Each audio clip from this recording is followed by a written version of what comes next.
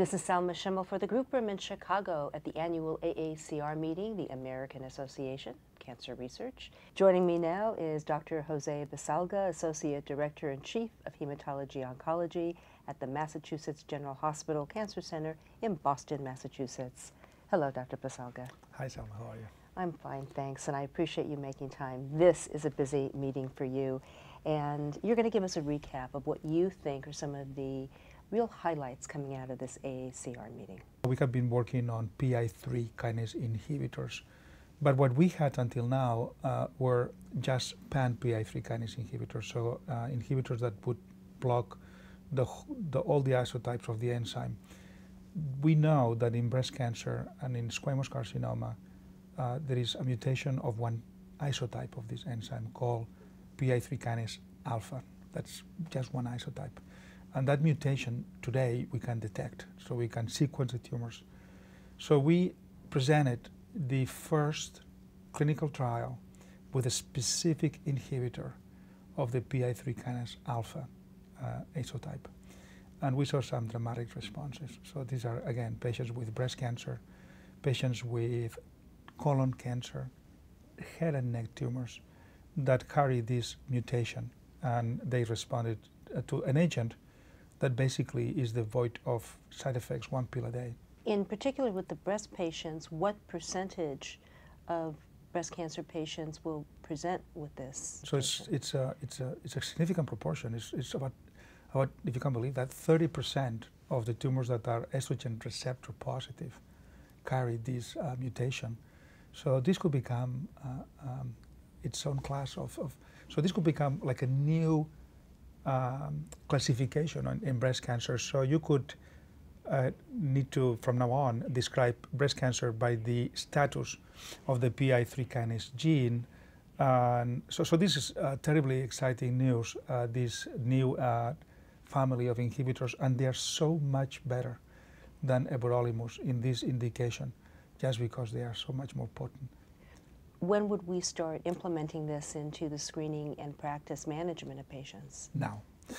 Uh, we, we have to start now. So we were uh, talking um, as part of a very nice initiative called Stand Up to Cancer, and there's a number of centers that we are part of that. And we presented our data, and we are now collectively um, mm, doing this. Uh, it can be done also in the community. So for the first time now you have companies that do this and you know for a reasonable mm, cost. So it, so this is now something that I believe that as these trials become available so it's not whether these compounds are going to be already in the market. They're not in the market and it's going to take a while. But we're going to have clinical trials for these patients. To analyze their genomic profile. No we're going to have clinical trials with therapies against this mutation. And those therapies are already in the pipeline? Oh yes, and they are available in, in institutions. In so if I were uh, a practicing oncologist somewhere and I had a patient with uh, uh, advanced breast cancer, I would think about the possibility of looking for this mutation because then these patients can be referred to centers. And how does a patient who may be viewing this ask her doctor about this analysis? How, what is the terminology she would use? So the terminology is, I would you like to discuss or shall we consider the possibility of genotyping my tumor? Or, if you wish, uh, sequencing my tumor for those mutations um, against whom there may be some therapies available today. Uh, the exercise of looking for mutations um, that are not actionable, if you wish. So, yeah, the tumors will have many mutations, and I think uh, we are not ready yet in the day-to-day -day practice to look for all these mutations because we don't know what it means, and we don't know what to do about it. But there is a number of growing mutations that we know what it means, and most importantly, we can do something about it.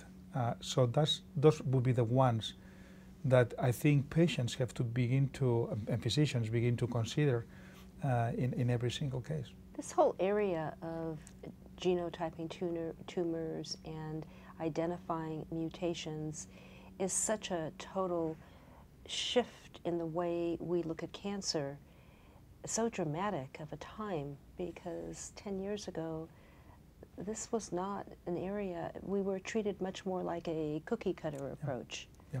So this has been something that uh, has been naturally coming to life in the last three years.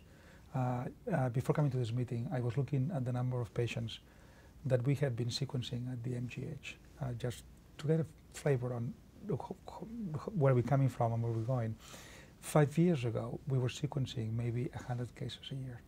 Uh, last year, we sequenced 2,000 cases. This year, we're going to sequence 3,000.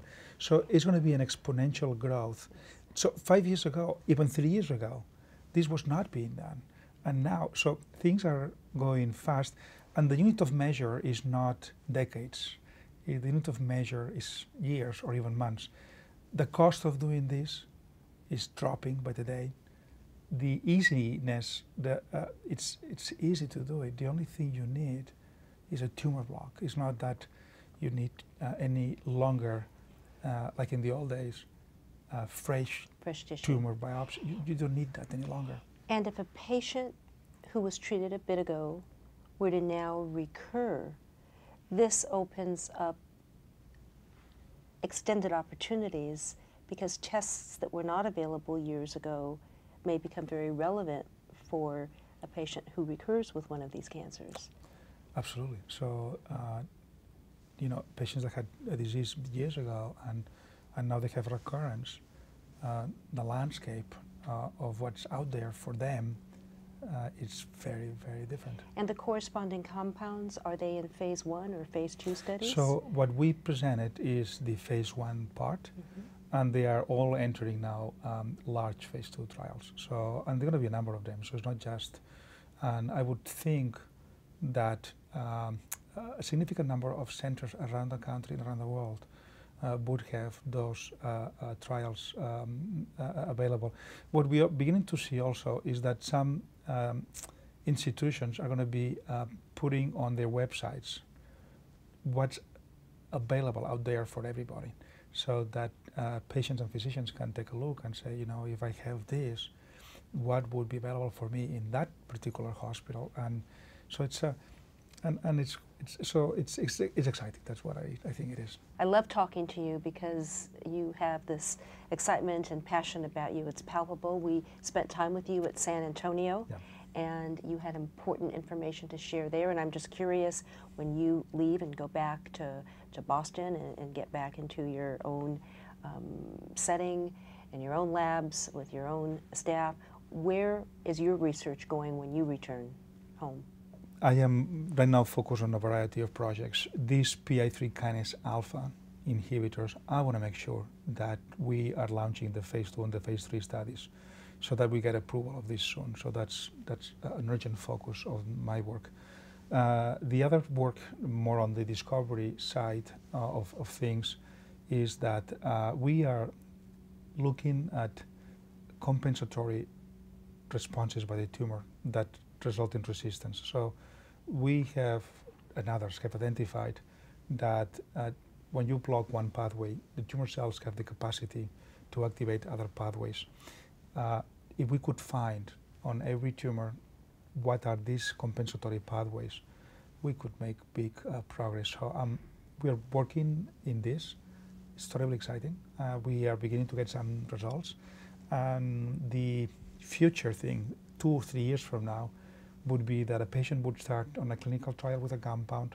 A day later, we would do a biopsy, mm-hmm. and then we would identify how to block that pathway in full and that could result in dramatic responses. So that's that's what we're doing. A real pleasure. Thank you so much, Dr. Jose Baselga, Associate Director and Chief of Hematology Oncology at the Massachusetts General Hospital Cancer Center in Boston, Massachusetts. Thank you so much. You're the best.